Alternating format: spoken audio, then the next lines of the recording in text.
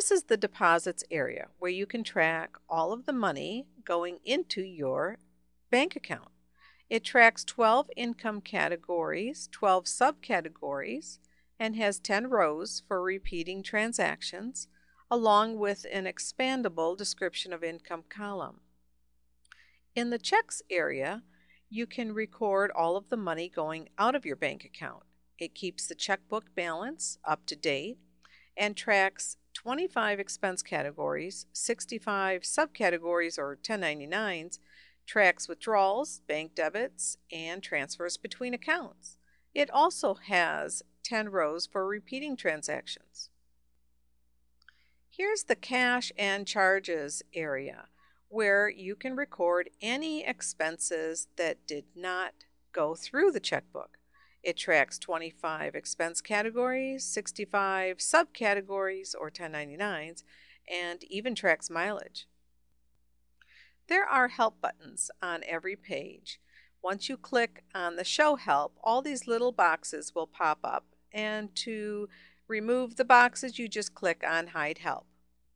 This is the bank reconciliation area where you can reconcile your checkbook. It is extremely important so that you prove your records are accurate.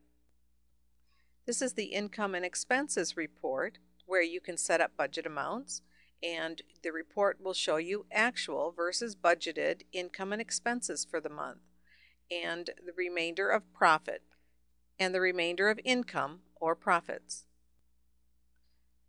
The account balance tracker is where you can track monthly account balances like savings, PayPal, credit cards, etc.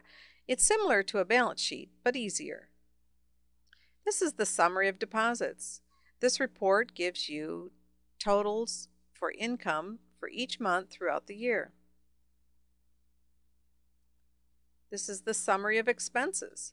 This report gives you monthly totals of all cash, checks, and charged expenses. This is the summary of income and expenses. This report is extremely valuable come tax time. It gives you monthly, quarterly, and yearly income and expense totals. It also shows year to date budget versus actual amounts. This is the summary of subcategories and 1099s. This report will show you monthly, quarterly, and yearly totals for subcategories and 1099s. It's real important for tax reporting. And that's it. Thank you for watching.